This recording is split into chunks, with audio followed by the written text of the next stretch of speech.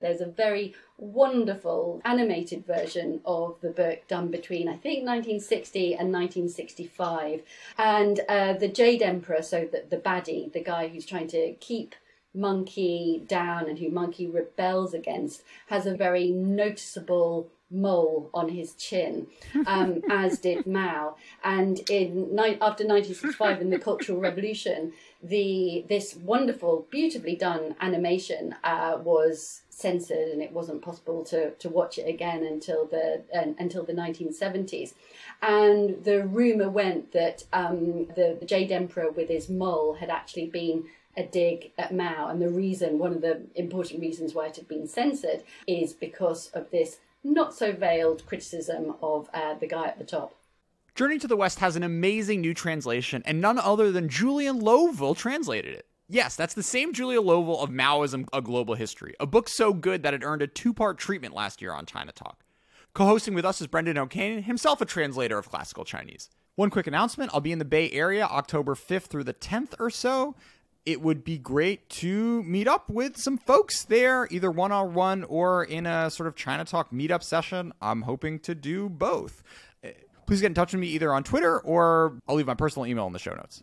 Thanks. Julia, what is the Monkey King? Monkey King, uh, also often known by the literal translation of its Chinese title, Journey to the West, Ji in Chinese, is one of the masterworks of pre-20th century Chinese fiction. So it's one of its one of its qishu.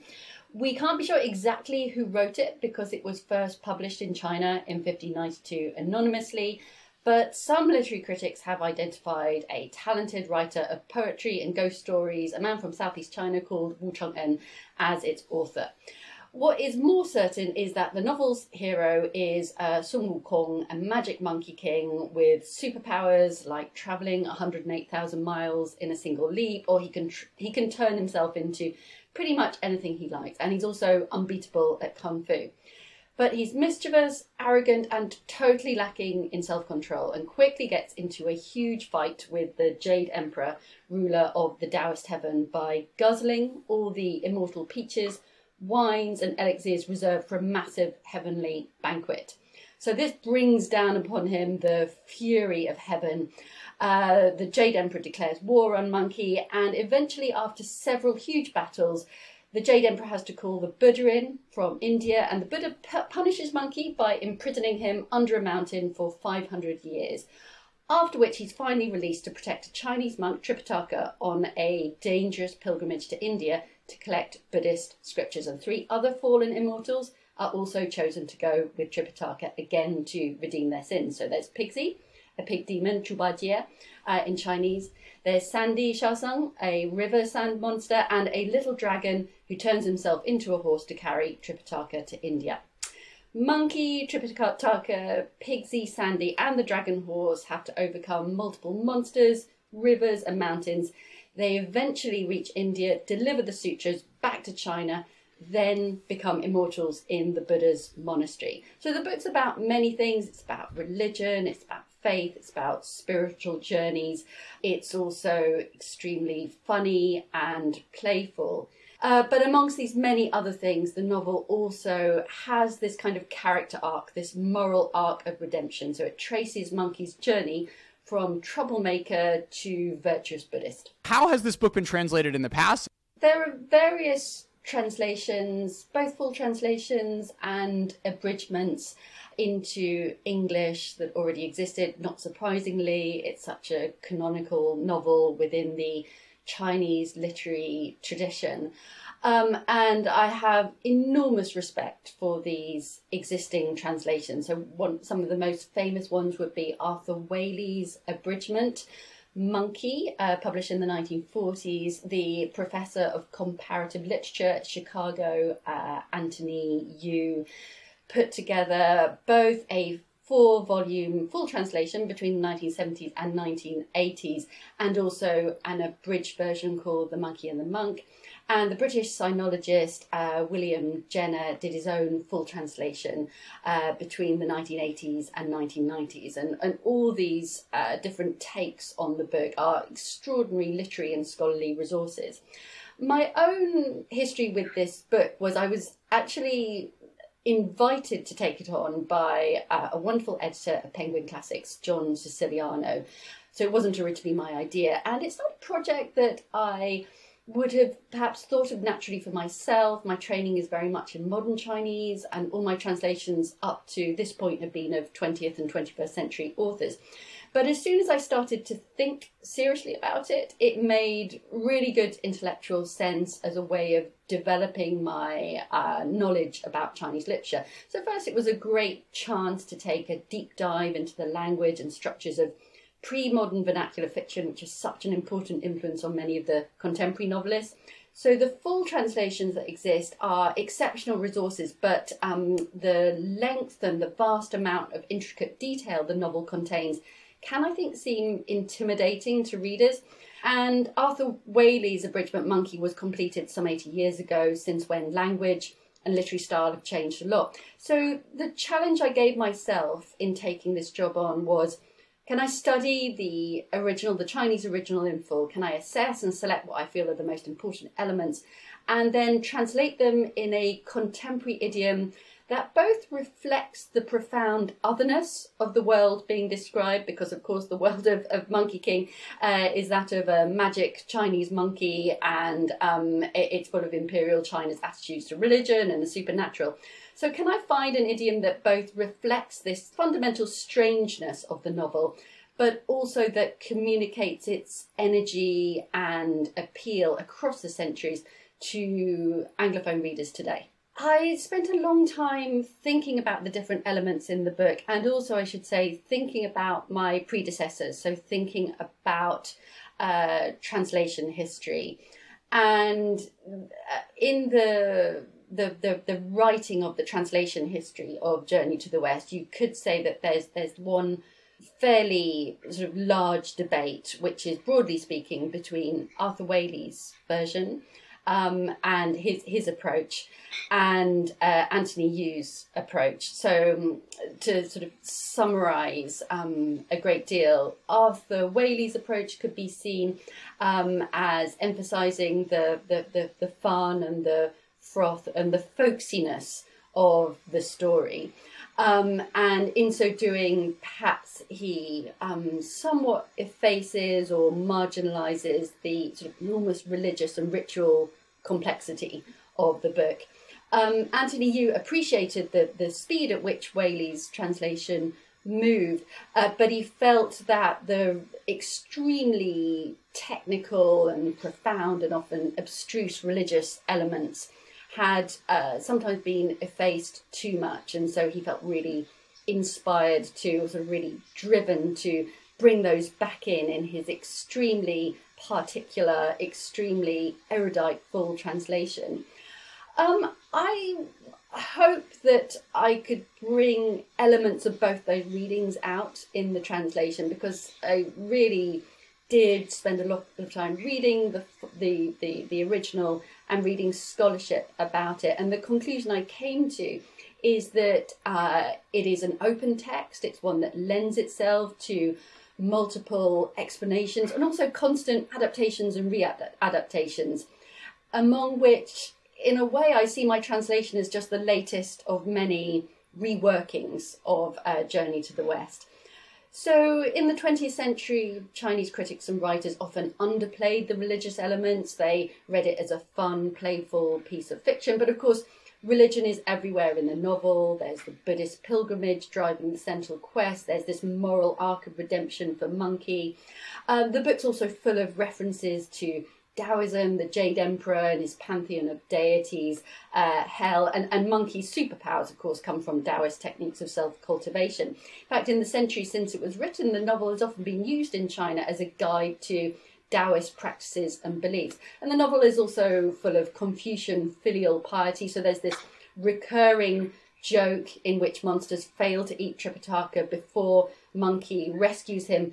Um, so they kidnap Tripitaka because they think eating his flesh will make him will, will make them immortal. But they don't get round to eating him fast enough because they always want to invite their parents to the feast, like the good Confucian children that they are. Um, but I would say that the book, so it has all these different religious elements. Um, it's also hugely fun and fantastical and playful, and is therefore too open to support a single interpretation. And all I could do was try to decide what were the main themes and decide to translate the parts of the book which brought out those main themes. So, another really important part of the book, it is deeply irreverent towards religious and moral authority with much mockery of religion and its and its institutions. At one point, Monkey, the mischief maker, even urinates on the hand of the Buddha. So the book stands out for its subversiveness as well as its spirituality. So I, as I as I read the book, as I read scholarship about the book, I made a list of what I felt were the key themes. I'm not sure that I um, prioritized one theme overall uh, above others. I just tried to bring out this these multivocal elements as much as I could. Yeah, very successfully, I think. And your translation is just fun to read in a way that Anthony Yu's version, like, I mean, I can appreciate it as a work of scholarship, but I wouldn't exactly recommend it as beach reading. And Waley's version is still probably the standard in English, but as you say, it's a little dated in its English usage. And Whaley didn't really know Chinese as a spoken language, so there are all of these puns and colloquialisms that he misses. And um, sort of on the same subject, it occurred to me last night that the story of Journey to the West, or at least the story of the historical Xuanzang, the historical Tripitaka, is actually about the quest to find a better translation. That's why he's going to India to get the sutras in the first place. Well, yes, it, it, exactly. Uh, um, so, although the book is so fantastical, uh, it is, of course, a historical novel in its way. It's based on a real, remarkable historical individual in history, this Tang monk of the seventh century, uh, Tripitaka, who he, who took holy orders at a young age, um, but very soon felt impatient with errors and omissions in the translations of Buddhist scriptures that had so far reached China. So he took it upon himself in the uh, late 620s to travel to India himself and bring back these original Buddhist texts uh, to translate into Chinese and sort of undertook this incredibly difficult journey uh, without, I should point out, actually the help of a magical monkey disciple. I, th- I think the, the book tells us very interesting things about China's interactions with the world beyond its borders. And I'd be really interested to know what how you two read this element of the book. So so on the one hand, it's about a journey out of China. It's about fascination with foreign places, with a foreign religion, Buddhism, and it sometimes speaks admiringly of the prosperity and beauty of the non Chinese cities that the pilgrims encounter. But there's also a, a slightly strange aspect to these foreign travels. So, on the other hand, however far they travel, the landscape never seems to change that much for the pilgrims, or it repeats itself. Another strange thing is that the pilgrims from China don't seem to struggle with learning foreign languages. Um, so everybody seems to speak Chinese. Um, and uh, the Taoist Chinese religious hierarchy still holds sway, you know, pretty much all the way to India. And then right at the end, when the pilgrims return briefly to China for a banquet with the Tang emperor, uh, they reflect on, quote, how great China was and how mediocre the lands of the West were by comparison. So, uh, end of that quote. So, one thing which I uh, thought about as I was working on the translation was whether the book projects cosmopolitanism or maybe provincialism. You know, does it project the idea that the rest of the world is going to be just like China or maybe a little bit less good than China? Um, and if the book is projecting this provincialism, is this done ironically or sincerely. Um, I mean, another really interesting aspect of this that the great um, Oxford sinologist Craig Clunas pointed out to me recently is, you know, not only does the do the languages and the religions not change on the way out of China uh, to India, but the food doesn't change either. You know, there's always fried noodles to tempt Pigsy with, um, or steamed buns, and so on and so forth. Yeah, yeah. I mean, the, the story is set in the Tang Dynasty, but our text is from the 16th century. And one of the things I really enjoy about hanging out in the late Ming is that people are writing and reading at a time when China is the richest country in the world that they know of. They don't have the anxieties and the sense of inferiority in the face of foreign imperialism and foreign hostility and foreign technological advancement that you find from the 19th century onward. And that passage about the feast at the end of the book jumped out at me as well. And, and uh, I think also before that, there's a mention in the episode about the kingdom of women where uh, Tripitaka is from China and therefore he's wealthy and cultured enough to be a fitting husband. Yeah, I, th- I think everything you say there is completely valid and I think it's it's really worthwhile looking in the novel for the imprint of the era in which it was written. I think that it can tell us so much about the intellectual, cultural, um, social, political, philosophical, um, and as you suggest, also kind of military foreign policy history of um, the era of kind of the, the Ming, if you like, um, uh, or a little bit after the Ming, maybe. The emperorship is is starting to turn in on itself. It's starting to seem increasingly dysfunctional. Um, but the empire of Ming China is enormously wealthy. It's the center of a global luxuries trade. It's seen this extraordinary expansion of population and literacy and sort of publishing, education and culture, um, uh, and connoisseurship and, and, and consumerism, which is all enormously vibrant. I think there are some slightly more sort of negative strains being reflected in the book um, also. Um, so I think one uh, thing that the book does is I think it does satirize the idea of absolutist rulership. Um, you know, remember that uh, so many of you know, the, uh, of the authors, the author himself wanted to be, it pro- probably would have wanted to be an official if he didn't manage it himself, but he would also have seen the fate of many other educated men uh, serving increasingly eccentric, unpredictable, sort of absolutist uh, tyrants on the emperor's uh, throne between the 15th and 16th uh, centuries. So, Julia, speaking of unstable tyrants, you did, of course, just write a book about Mao. Um, what are the parallels, and how did he like the book? Mao also loved the novel, and that became a really interesting thread joining the um, Global Mao project with this. I actually ended up taking them on at the same time, and it was really interesting to see these links develop. Um, so the, the, the centerpiece story of uh, the history of global Maoism is is really the it's, it's the early 60s through to the mid 60s, the um, uh, eruption of the cultural revolution. So this is this is the the campaign, the the, the vehicle uh, through which many of Mao's ideas are vectored globally. Um, and I was struck by learning that that Mao actually was reading Journey to the West on the eve of launching the Cultural Revolution, I think sort of April, May. Um, and the connection here is that, you know, Mao um, as is well known, was an anarchist in his early 20s.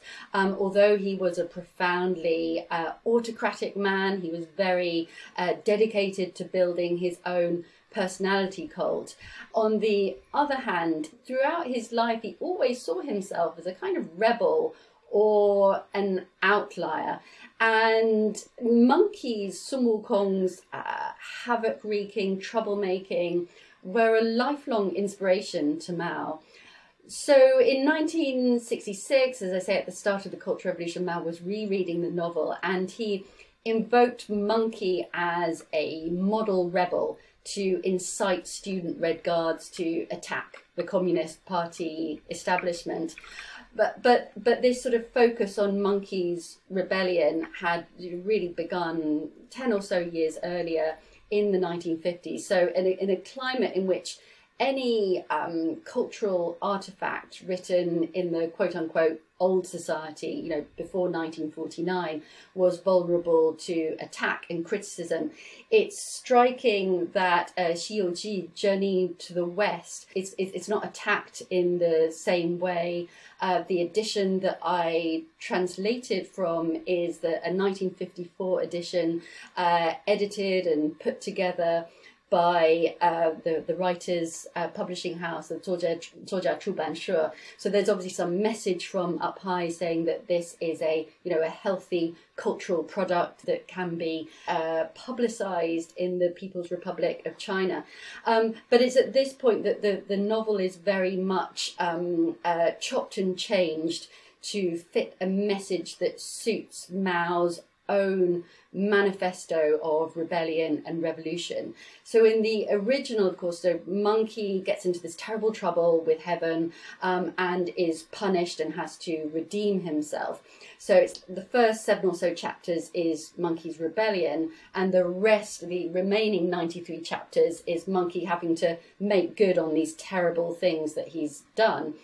But the 19 sort of 1950s adaptations on sort of stage and um, uh, opera and then film and cartoon, uh, they effectively ended the novel at the end of chapter seven. So at the end of Monkey's rebellion against heaven, so his Danao, Tiangong and they completely changed the ending of that. So rather than Monkey being uh, chastised and uh, pinned under a mountain by the Buddha, uh, Monkey, eh, the story was changed so that Monkey was victorious. Uh, monkey sort of brought down stuffy, old, oppressive heaven. So, in the context of the 1950s, Mao's revolution, Mao's sort of peasant backed uh, revolution just having triumphed in 1949, it's very easy to see how this changing of the uh, sort of reshaping uh, of Journey to the West would fit with Mao's own sort of vision, political vision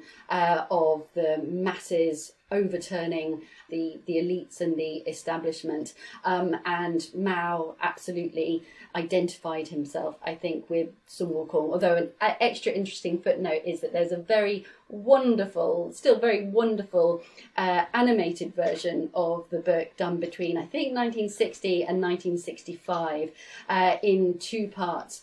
And uh, the Jade Emperor, so the, the baddie, the guy who's trying to keep Monkey down and who Monkey rebels against, has a very, very noticeable mole on his chin, um, as did Mao. And in after 1965, in the Cultural Revolution, the this wonderful, beautifully done animation uh, was censored, and it wasn't possible to, to watch it again until the uh, until the 1970s.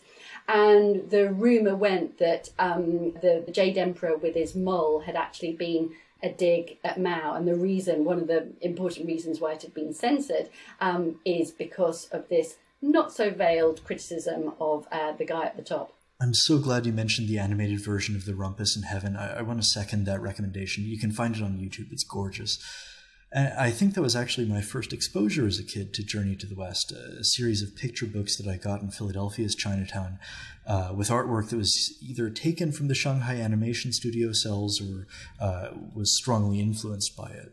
That I, That's another um, of the really appealing aspects and, and remarkable aspects of the book. I think it's its ability to survive over the centuries in uh, through adaptations and reworking. So it's a novel which is about shapeshifting, which has um, itself shapeshifted. Um, and uh, Journey to the West was actually, to my knowledge, my first contact with East Asian culture. So I grew up in remote parts of provincial England in the 1980s. These were times and places where China felt so distant from ordinary life, it almost seemed to exist on another planet. But on Saturday mornings, I would sit in front of the TV, mesmerized by a show called Monkey. And it was only years later that I realized this was a Japanese adaptation from the 1970s of Journey to the West. Now, the, the production values were low, the dubbing was clumsy, but there was something about the the characters and the situations. They were so hilariously eccentric that the show became a cult cultural phenomenon for me and many of my generation in the UK. So when I actually read the novel um, as a university student of Chinese, I, of course, at that point, I began to appreciate the richness of the book, you know, its, its religious elements, you know, everything it tells us about Chinese society and, and culture but at the same time, the aspects that had still appealed to um, to me as a child, they they still held. So the extraordinary fantasy sequences, the uh, irreverence of monkey, you know, the out there monsters and, and, demons. So while I was working on my own translation, I rediscovered the, the TV show with my teenage son, and I was struck by how he too was immediately entranced and entertained by it, even to the point that on social media he actually uses the face of the monkey character as his avatar, and he includes as his tagline the uh, opening credits succinct summary of Monkey Sun Wukong, uh, which goes, "The nature of monkey was irrepressible." So, what scene did you most enjoy translating? Well, I think that I am uh, uh one of the first women to translate the book into English, and I was very keen to bring out strong female characters or uh, female related stories within the book, uh, of which there are many. So at one point, the male pilgrims pass into the uh, country of women. And there are no men in this land, and women have to become pregnant by drinking from a magic river. Now, the pilgrims don't know this, so when Tripitaka and Zhubajie Pigsy get thirsty, they have a drink and almost immediately go into labour. And Tripitaka and Pigsy immediately become quivering wrecks of fear at the prospect of childbirth. Um, even though they face so many terrifying demons already, it seems that nothing compares to the, the, the, the hell of labour. Um, so, although the writer was most likely male, I was struck by this empathetic appreciation of the trials of childbirth. And as someone who's gone into labour three times myself, I, I couldn't help but um, appreciate that perspective. And then after Monkey gets them out of that tight spot by getting them some more magic water as, a, as an antidote, the pilgrims still have to go through the land of women. They experience some very uncomfortable gender power reversals, so they're gaped at by women, they're um, forced into marriage, they have to experience a world where the other sex is so much more powerful than them. And I, I found this imagination of a world of sexual power turned upside down really fascinatingly subversive for a 16th century novel, and, and probably actually my favourite fight scene also involves a uh, female demon, the very famous Tieshan Gongzhu, uh, Princess Iron Fan. Um, and uh, she has a magic um, uh, fire extinguishing fan that uh, Monkey needs in order to continue on their journey. Um, but she has a major grudge against Monkey uh, and so, uh, far from giving him the fan, um, instead she challenges him to a duel. Now, Monkey is uh, unable to best her in a fight. So, Monkey turns himself into a tiny fly, um, conceals himself inside one of the bubbles on the top of Princess Iron Fan's tea. She's thirsty after the battle with Monkey, gulps it down and so now monkey is in her stomach and then he quickly turns himself back into a monkey and starts doing kung fu inside her which is of course very painful. Um, so very quickly, uh, she has no choice but to uh, promise to give him the fan. Um, uh, after which, um, Monkey finally emerges, uh, grabs it, and takes it off. But Princess Iron Fan is not done with him yet because she's very cleverly given him a fake fan, uh, which in fact, far from extinguishing fire, actually makes fire burn even more intensely. Um, so, in terms of that particular encounter, I think that Princess Iron Fan definitely has the last laugh. One of my favorite things about your translation is all these lovely little turns of phrase where you manage to dodge the clunky translatees that tends to plague Chinese literature and translation, and you come up with felicitous descriptions. Um, I think my favorite of which was the mention of a heavenly functionary's bouffant eyebrows. Um, this may seem like an obvious question to anybody but a translator, but how did you go about taking things that were funny in Chinese and making them funny in English? Oh, what what a lovely thing to say! And I, I really must say that writing this translation was sheer fun. I mean, after six years with, with Global Mao, it was it was extremely therapeutic to work on this book. I mean, I, I should point out when I was talking about the reception of the book, um, Mao loved the book, but it's also a book which has always been beloved of you know rebels and creatives as well as authoritarian. So it, it has this this kind of absolute effervescent creativity and imagination within it.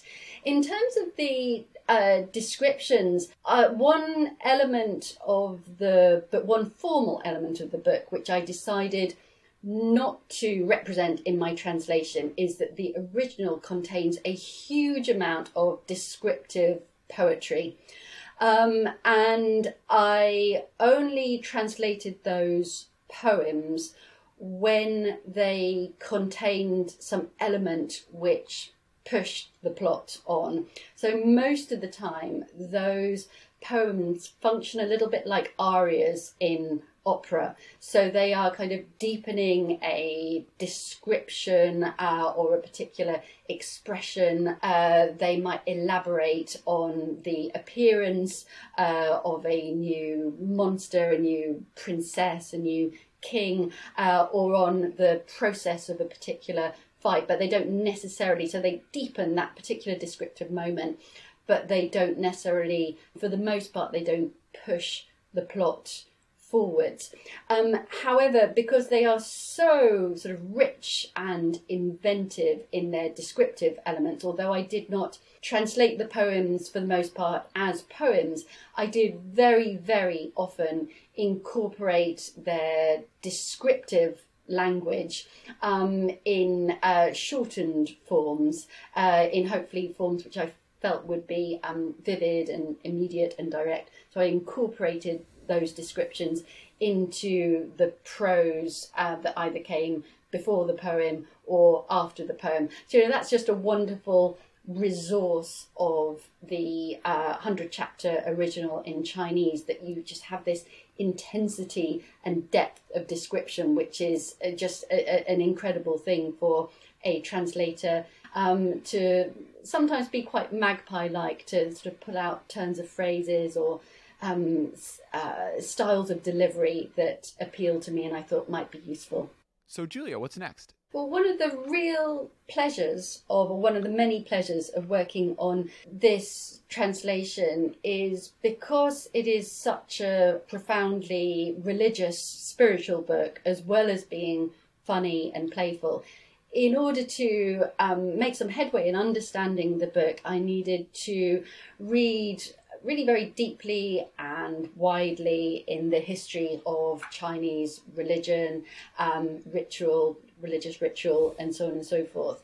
Um, so that reading is ongoing and it's uh, led me to greater engagement uh, with China's both both written and uh, deeper past, including uh, archaeology, you know, what it can tell us about the, the, the, the makeup of uh, early Chinese uh, society and culture.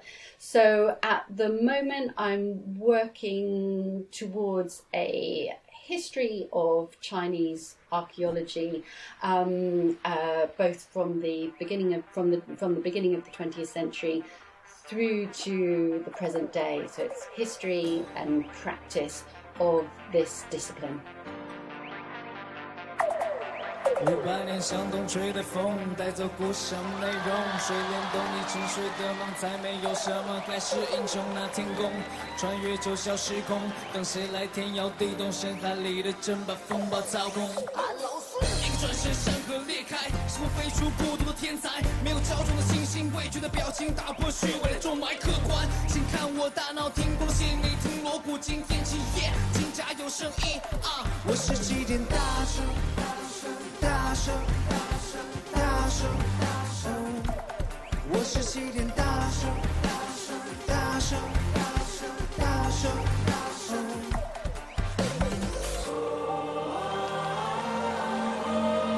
一个合掌，下一秒的力量叫做天下无双。一擦亮金箍棒，不懂什么是易如克刚，谁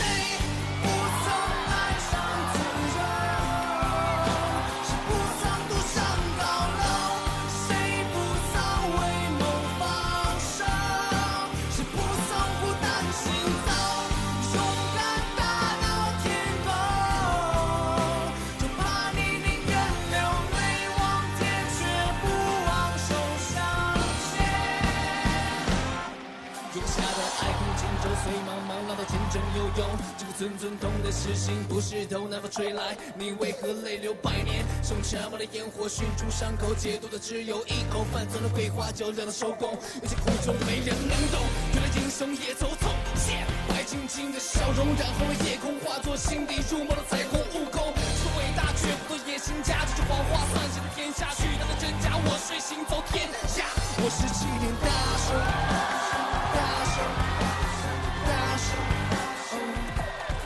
这几天大暑。